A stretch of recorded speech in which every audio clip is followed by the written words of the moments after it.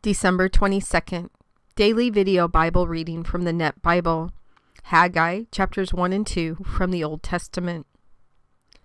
On the first day of the sixth month of King Darius' second year, the Lord spoke this message through the prophet Haggai to Zerubbabel, son of Shealtiel, governor of Judah, and to the high priest Joshua, son of Jehozadak.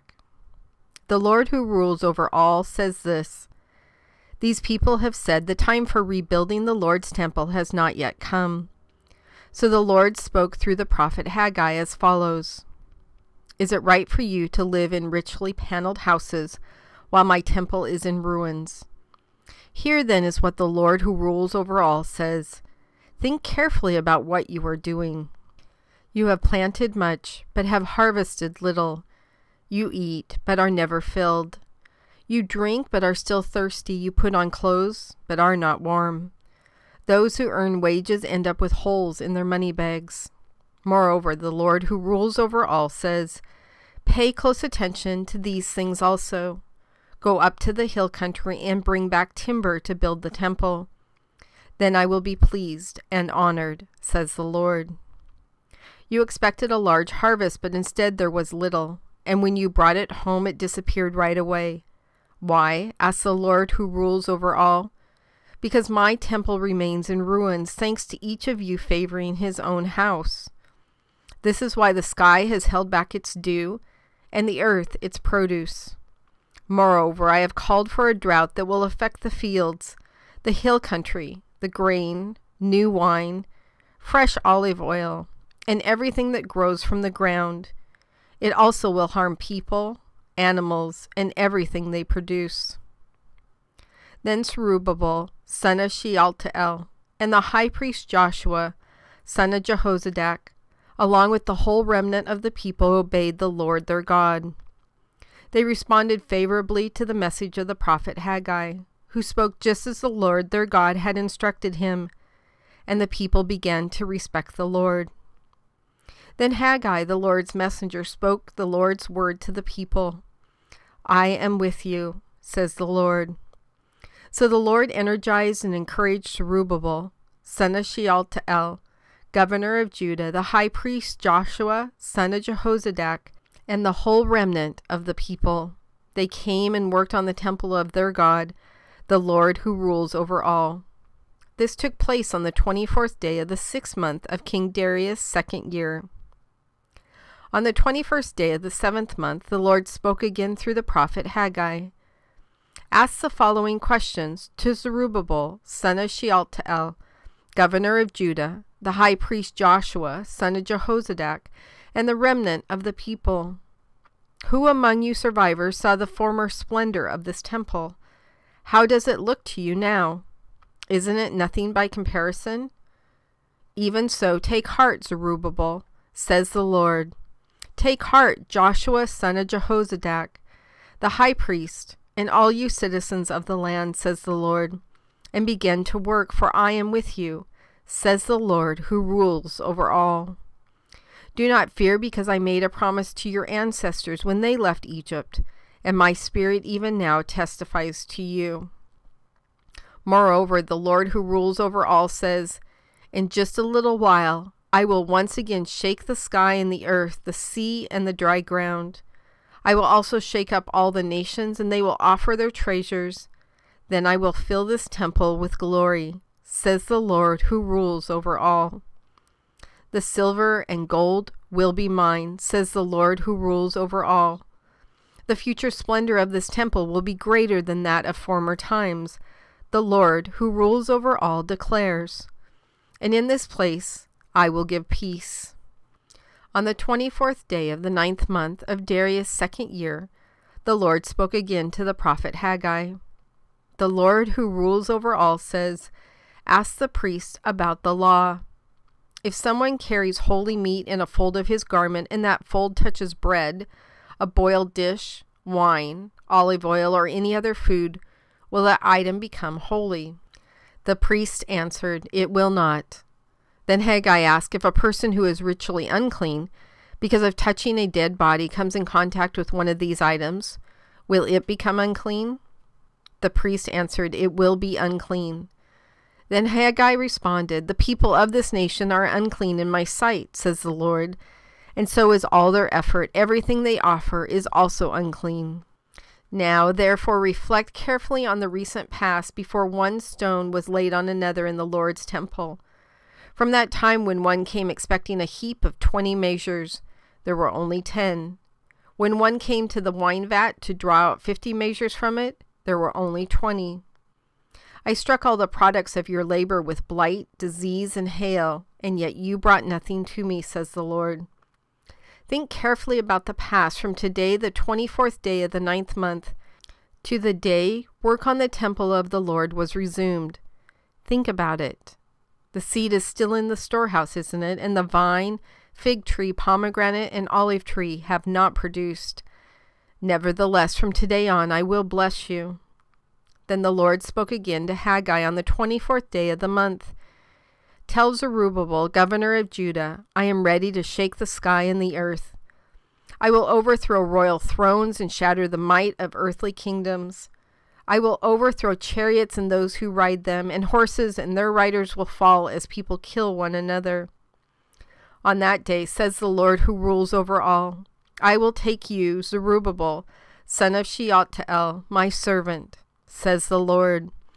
And I will make you like a signet ring, for I have chosen you, says the Lord who rules over all.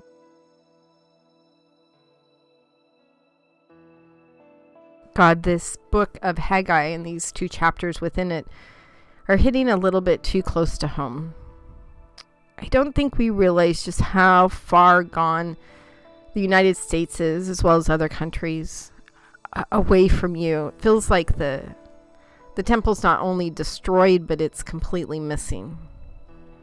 It seems everywhere we turn, um, there's growing persecution against Christians. And I think one of the saddest things I actually see is, is not this persecution because you warn us of that uh, in the Bible. You're really clear that that's going to happen to us and it's going to get worse and worse as we get closer to end of times. But I think the part I really struggle with gosh, especially today, I'm kind of on a soapbox these last couple days, is uh, other Christians. I think other Christians sometimes cause more problems for Christianity and spreading your word uh, than non Christians or the persecution of Christians. I have watched this week in true bafflement of people quoting things that they say they're from the Bible and they're not at all. Um, I I had another woman who said something, and and so I responded back, and I said, you know, that's that's interesting. Can you tell me where you found that in the Bible? And she says, well, I wasn't talking about anything from from the good book, but I'm sure this is what Jesus would say. And it it broke my heart at all these people who don't know your word. Now, in all fairness, I don't think any of us can ever know your word enough. Uh, and I do love devouring your word and, and reading it and learning about it and applying it to my life. but I'm really hurt right now. Um, and I'm kind of hoping it's righteous anger. I'm not sure if it is, but just all the people who speak out on your behalf or say that they are, yet there's nothing to back it up whatsoever. And it feels very much like Haggai, where the temple's destroyed and the people are kind of going about life kind of half cocked like whatever, it'll get done. We don't have to do it right now. We can rebuild it later on. It's it's no big deal. Uh, and you say to them, "Don't you understand? Your life is a reflection of this this temple that has crumbled around you, and, and for us, it would be crumbled inside of us. That if you're not building the the correct uh, structure, infrastructure of the temple, and for us, that would be uh, reading your word daily, praying, and putting what we learn into action in our life, if we don't have that infrastructure, if we don't have those big building blocks of the temple, it, it will be in complete ruins. I actually saw a Christian, well, she calls herself a Christian. I saw a Christian today um, talk about tolerance for sin on Facebook I just can't even say those words tolerance for sin. Um, and I was astounded, absolutely astounded at this mediocre, milk toast dumbing down, watering down of what you ask us to do in this world, God. No wonder the temple is in complete disarray.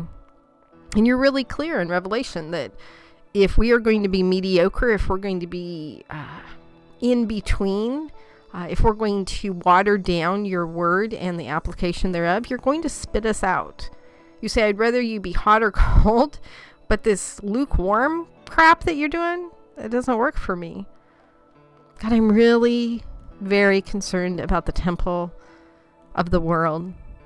I live in the United States, and so I see it more clearly here than I would someplace else. God, I just ask that you come and strengthen us. Strengthen all of us individually, strengthen our churches, strengthen our leadership in our churches so that we're following your word. Not this dumbing down, not this lukewarm, not this playing into the hand of the world, but that we are passionate about the strength of our temple, of our understanding and the knowledge of the Bible, in our communications with you, and most importantly, in our actions themselves to the other people in this world, showing them love and mercy and compassion, just like you have to us. God, I was talking to a friend last night and I was talking about my life before you. And my life before you feels a lot like what Haggai's talking about this completely destroyed building. And I know in, in other chapters in the Bible it, it goes into a little bit more detail, but that the vines are grown over and the wild animals are running through it and and it just feels like it's never going to be rebuilt. There's never going to be a, a reconciliation.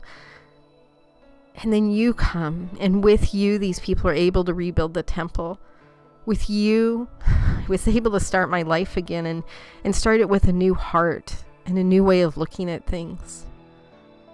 God, don't let us go backwards.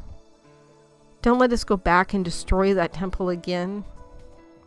Allow us to be intentional every day and passionate about being in your word, knowing your word, keeping it tucked inside of our hearts, being in constant communication with you through our words and then definitely showing an outpouring of glory to you through our deeds, through the application of what it is that we know. God, come and live with us again. It truly feels like your hand is off of America. And I, I, I can't blame you in the slightest. We have done everything possible here in the United States to keep sin first and foremost in our in our want and desire list. Definitely over you.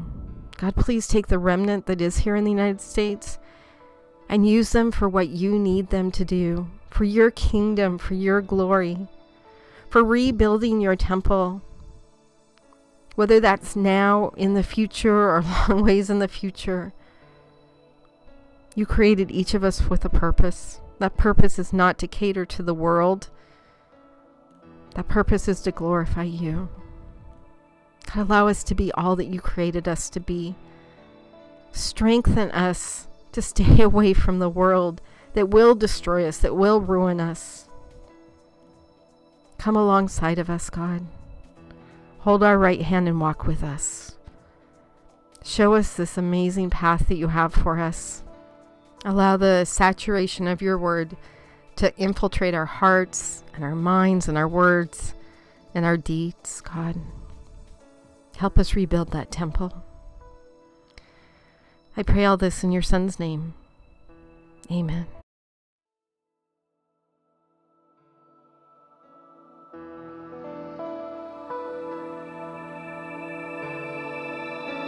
thank